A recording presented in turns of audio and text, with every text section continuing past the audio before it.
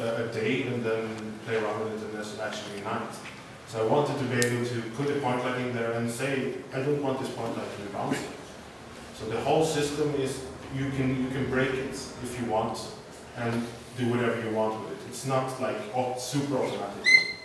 So here I'll put the point light in there and it's actually not bouncing. But I can click on it and say, yeah, I want this light to bounce. I can also tell the point light to, I, in the FUG rendering it's going to be green, but I want you to bounce orange instead, so I can do that too. Everything is disconnected. The same thing is with the sky that I showed you before. This visible representation, the coders went like, okay, we can just try to take the sky texture and just project it. And I said, no, I don't want to do that. I want to be able to tell the lighting system that the sky is actually green, even if it's blue.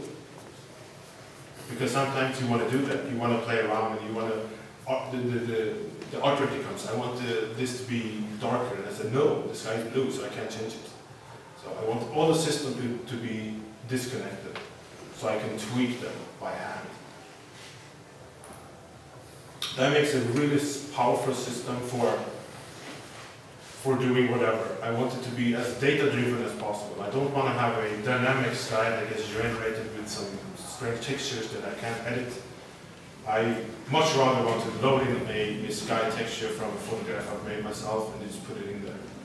Uh, Frostbite 1 was a system there that most of the system was dynamically created skies and everything, and that wasn't that good. I want everything to be data-driven. Of course, that gives the artist uh, he has to be careful of the memory and stuff like that, uh, but it's, it's, it's really good uh, in that way.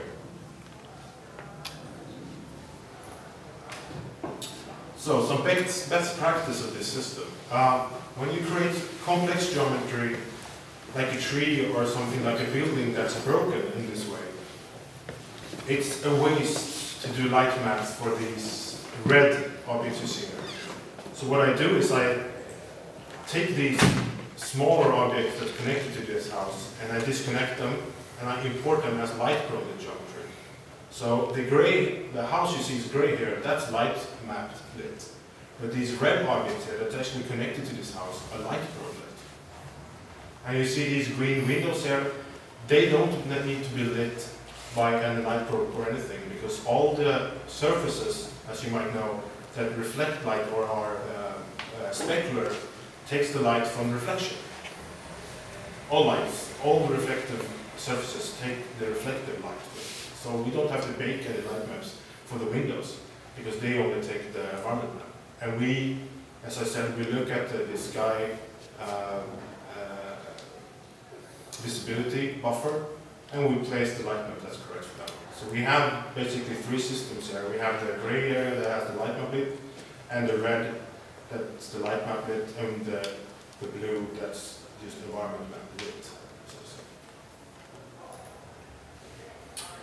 Another thing is that this system can be used to use static, make a static reducer map. We can at any time when we're looking at the level say, no, I want to make this a static bit because some of the levels we don't have that much destruction on it.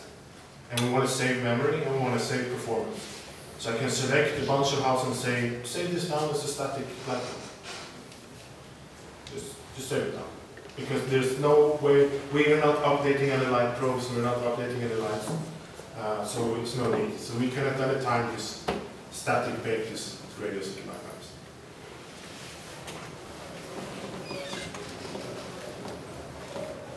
if we want to have dynamic uh, radiosity rooms, we need to have as low resolution as possible because then we can update these maps a lot faster. So here you can see a room and these cubes here is one pixel in the light map. So this is how high the light maps are. They're really low, but it looks really good anyway. We tested this a lot and increasing it and lowering it and we can't see any difference. So, so we, we have it really low. For dynamic, when we use this dynamic. We also, we also use streaming in the Frostbite 2. So we have to select areas where we can stream out these dynamic light maps or static light maps. So we select areas where we have static and the, uh, where we have areas where we have these light maps basically. We also, as I said, we have time lapse, so we could dynamically update the light maps. Um, we have a system that we can we can we can set the sound and move everything. And as I said before, we wanted also a really high range in our HDR. Uh, and these light maps, uh, we had to come up with a really good packing solution for these light maps. So they could take this range of actually introducing more light into the scene. And we also wanted to mimic a real camera, basically. So this, uh, we have one thing though, uh, looked at film also. They do something called color grading. Uh, this is really nice actually. What we do is we take a small texture, what we do first, we take a screenshot of the game basically. We throw it into Photoshop.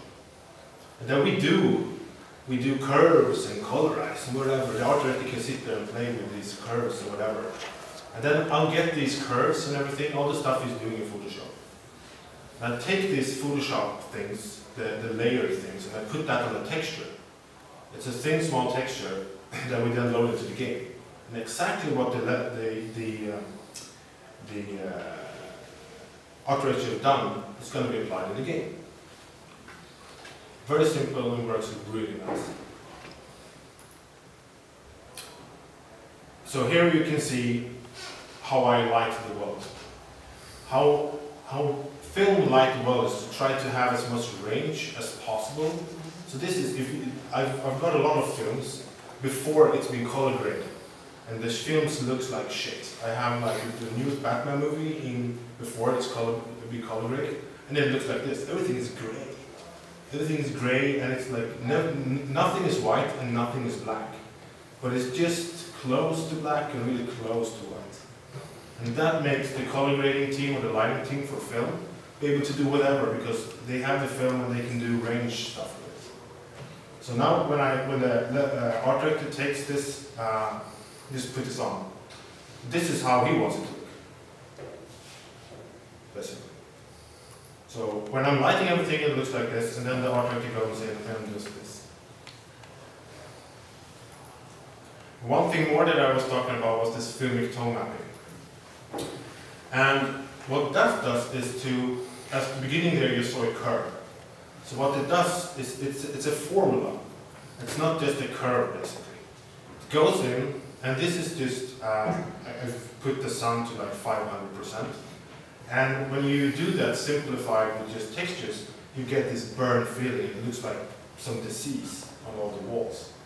You can't really see it, but it's like yellow, like skin color or something weird. But with this this curve, this uh, uh, filmic tone curve that the, the, film uses, uh, it pushes down all these wrong colors. So when I put it on again, it goes back to this. So it's actually the same picture, but it just pushes down all the whites basically. So I get this strange thing away, and then you get this filmic look. Uh, so the conclusions, uh, conclusion. So the advantages of this system. The biggest thing is the time. We win so much time. We can do so much levels and so much more work in the lighting and what we've ever done. So we can iterate a lot of the lighting. And also, as I said with this uh, uh, color cube, the art director can do a fill in Photoshop. It doesn't need to go to me and say, make it more blue. You can just go into Photoshop and just change this a bit and just save it and it's more blue in the light. So I don't, I don't have to talk to him basically that much. Uh, because otherwise he comes running back and forth to me and say, lower that light, lower this, make it more green, more red or whatever. He can do his stuff and I don't have to care that much about what he's doing. As I said again, time. The, when we had the design changes in Edge, that was very painful when they said we have to cut this half thing because it's not fun. We go like crap. We don't, we don't want to do that. So they can design things at the same time. And as I said, we get one unified system because all these light probes, all the particles read these light probes, and all the dynamic objects and all the smaller objects reads the same system, and everything is unified. everything is, if you make a particles that's white, and you make a box that's white, and you make a dynamic object that's white, it's gonna be the, the same way. You don't have to tweak anything, you don't have to go and like, oh, it gets too bright or too dark or whatever. Everything get- gets unified. In Frostbite 1 we have a lot of different systems, like we have character lighting, we have vehicle lighting, because all the vehicles look strange because we've done this and that. So we have different systems, so we have like a vehicle lighting guy that just sit there and tweak all the lighting for all the vehicles. Everything is unified now and that's really nice. But there are disadvantages. Uh, it is some memory, uh, it takes up memory, but compared to Mirror's Edge, it's nothing. But it is a disadvantage, it is, a bit of memory, because in Frostbite 1 we didn't have any memory at all for these kind of things, but now we have to use that. Performance, uh, depending on how many light probes and density, how many light probes you put on the scene, uh, you get a bit of hit from the CPU, depending on how overdraws or point lights you have with the third menu. We can have about five or four point lights uh, going, drawing over each other, and that's quite fine on the console. But more than that, we get. Uh, authoring geometry, as I said there, uh, it could take some time sometimes uh, because we have to bake these if it's a really huge thing. And some of the artists don't really understand the system yet. Uh, so we have a bit of problems with newer artists to really understand how this works. Uh, and as I said, we have this pre-compute where we actually have to bake some. We're not just, can, we can't go right away. We have to bake for like 10 to 20 minutes when we put our static geometry. So I'll summarize everything. Uh, workflow, dynamic fast, uh, very different, so we get a bit of a problem. Ev- Every time we get something new,